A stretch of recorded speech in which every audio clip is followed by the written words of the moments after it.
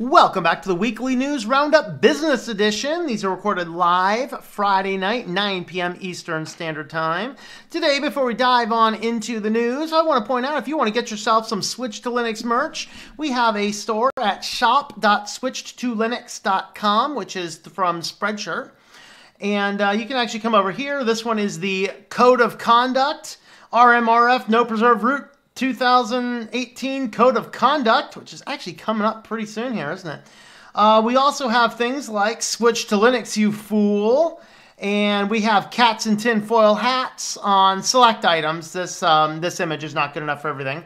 We do have cats in tinfoil hats, coffee cups, and we have a variety of other things, including our sub to the cat, the human is crazy, and we have anything from men's, women's, children's. We have coffee cups, water bottles, mouse pads. Of course, my mouse pad is very nice. Of course, my green screen messes with it, but you know, my uh, mouse pad is quite epic. So uh, we have a variety of different things over here. You can feel free to uh, swing by the store, shop.switchedtolinux.com. That will take you right on over there to that. Pick up some merch and maybe we'll make something new here soon. I don't know. Let me know what you think. All right, so on to the business news. Amazon delivery contractors operate with little oversight. Report finds. Did we really need a report about this? Like, I got excessively irritated with Amazon's delivery guys. So, this was interesting. So, I ordered, when I rebuilt this computer, I ordered all these parts. It's like $600 in computer parts, right? So, it's like, well, we can't ship that to the pickup location. Okay, we can't ship that to a post office box. You got to ship that to a house. Okay, fine. We'll ship the computer parts to the house. Now, I'd prefer it go to the pickup location or to the post office because those are actually very secure. So it ships and it's like, oh, it's going to arrive on Sunday. Sunday, really? Well, it was one of these morons. And uh, so we're literally sitting there at home on Sunday. I was home all day. I was actually sitting on the couch, which I can reach behind me and touch the door from there. Guy came up deliver the package, and never even knocked on the door. He just dropped $600 in computer parts on a front porch, which is so open. That place where I was living at that time was so wide open, literally low income neighborhood area. Um, not that I was low income, it's just where it was. We have a block here where there's some Section 8s, there's some tax credits, and then there's some there's some townhouses and things like that, but very in that vicinity. And all everybody has to walk right by where I was living. They don't even have the audacity to knock on the door. Just drop off and run. $600 in computer parts. That's how stupid these Amazon delivery morons are. So, no offense if you're an Amazon delivery moron, but uh, you got to have a little bit more insight over there at Amazon. But anyway, um, some reports were indicating at least, um, you know, basically what's happening is Amazon is convincing a lot of people to, you know, quit their jobs, buy trucks, and become their own business so Amazon can contract them out. So they're not employees of Amazon. That's what they're trying to do. And then, of course, if Amazon needs, you know, we got too many guys working, oh, just lay off a bunch of these guys easier to take care of. You don't have to worry about layoff slips and all the regulations dealing with that. But it turns out that these guys are so overworked. They obviously they can't stop for restroom breaks. We saw the cases of the, the lady that, that popped a squat and um, and uh, delivered a baby there on somebody's uh, front lawn. it was a brown baby. that was an Amazon delivery person.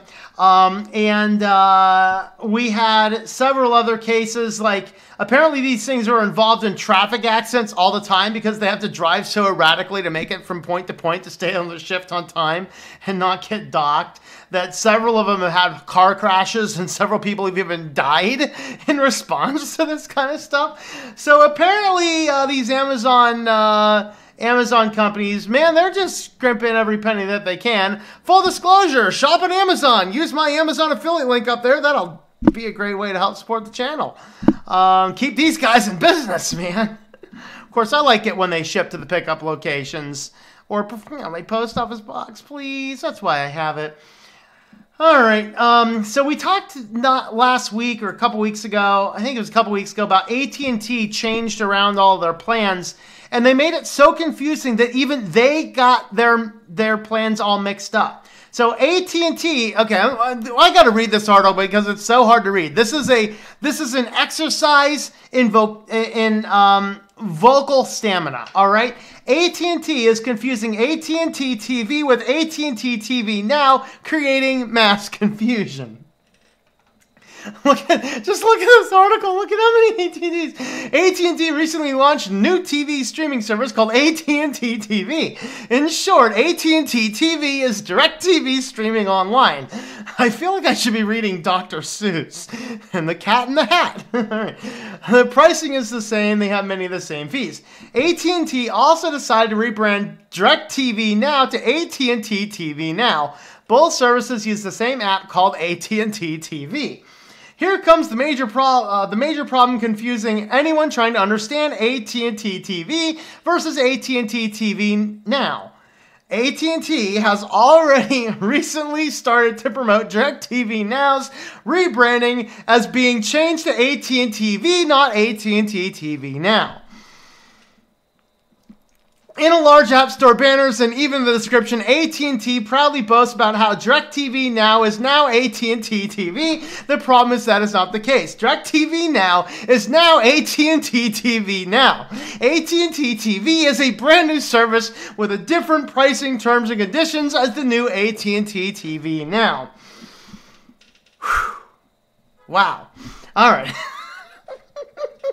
Here are some screenshots which AT&T clearly says DirecTV Now is AT&T TV. AT, uh, DirecTV Now is what you're getting. Say hello to AT&T TV, which is not the case. DirecTV Now is now AT&T TV now. Whoops.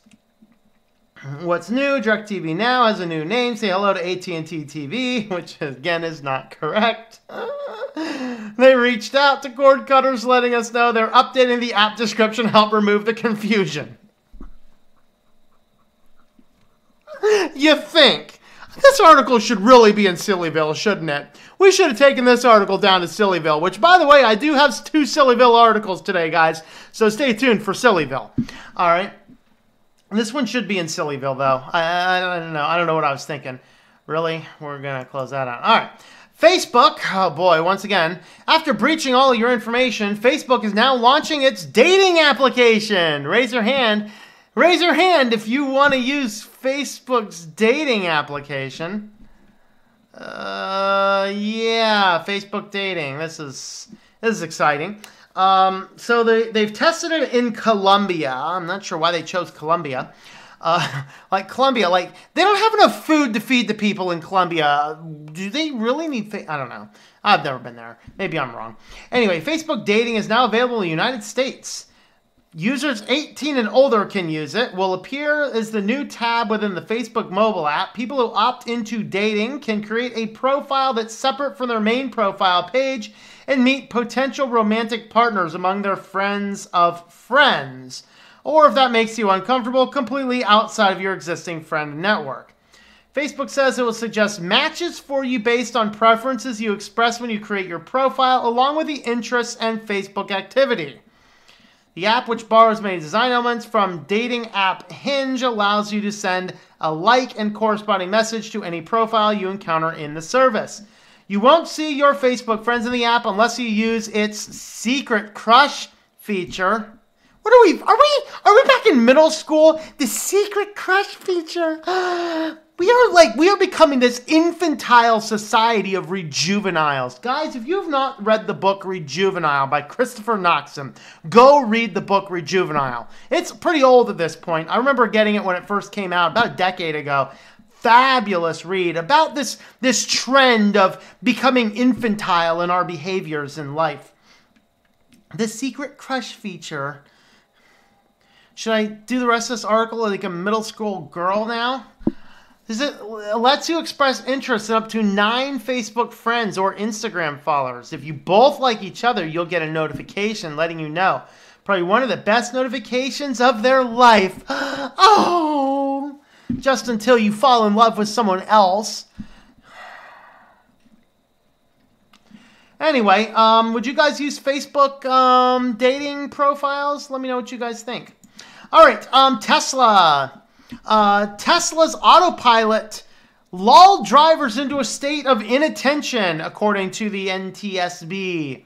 So uh, NTSB basically criticized Tesla, saying, you know, the way that you're doing this will lead to accidents because you're bringing people's attention off of the road.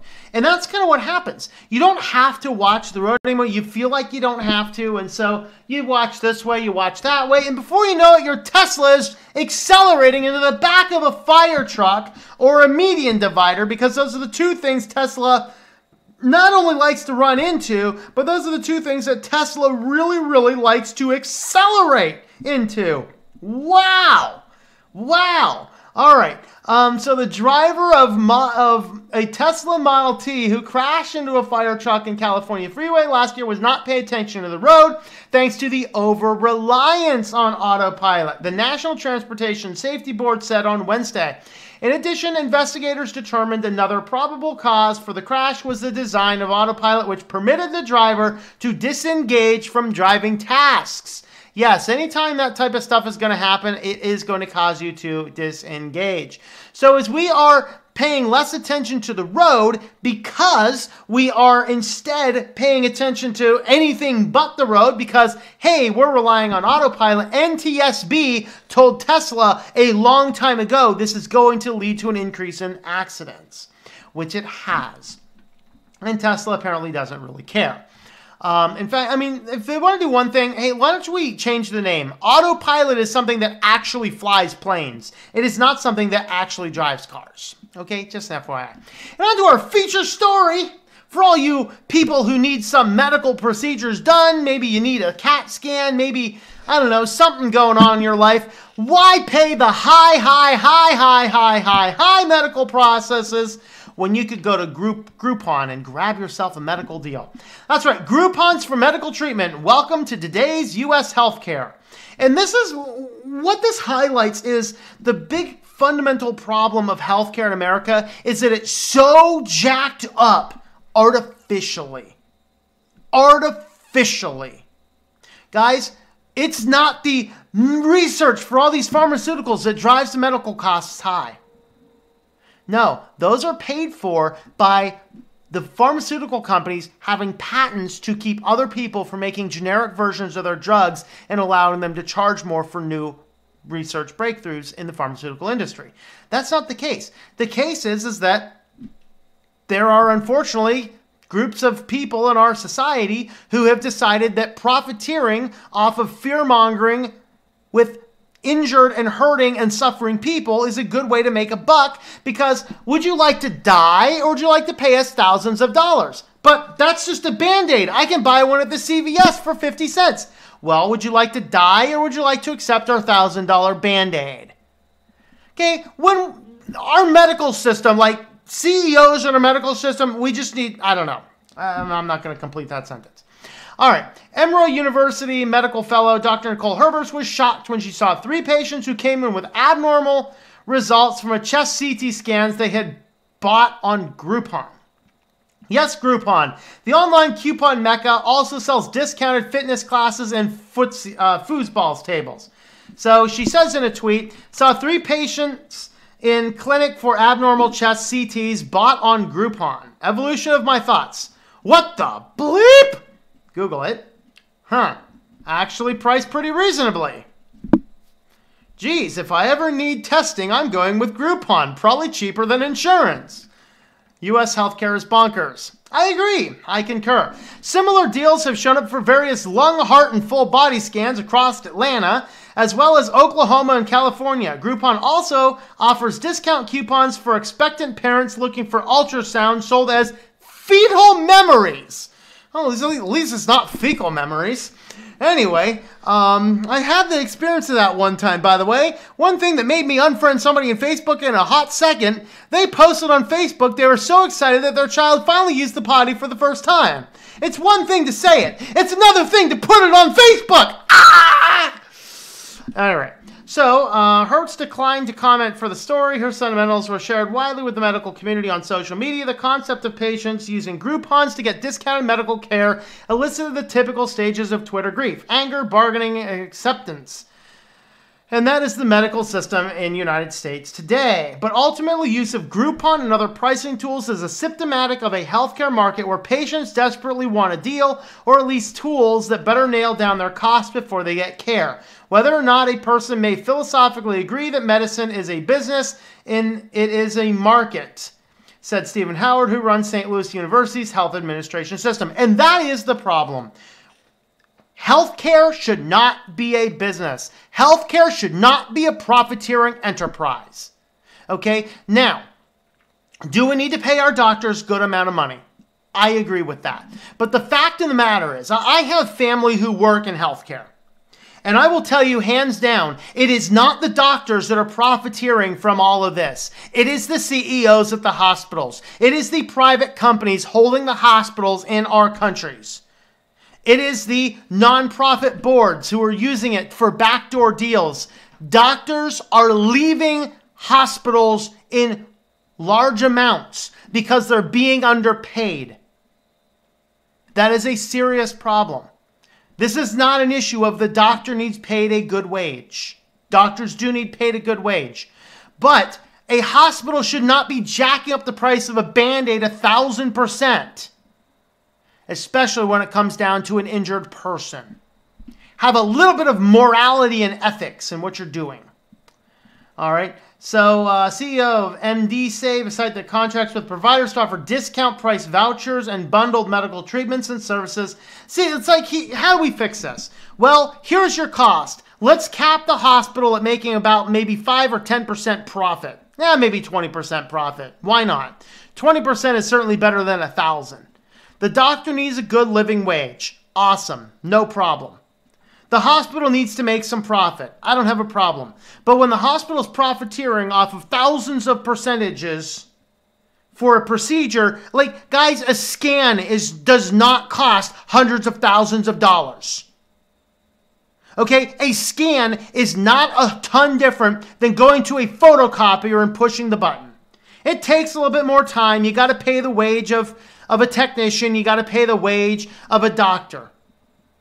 That's not hundreds of thousands of dollars. So this coupon was like 95% off. And by the way, they're not giving out the coupons to give the service up for free.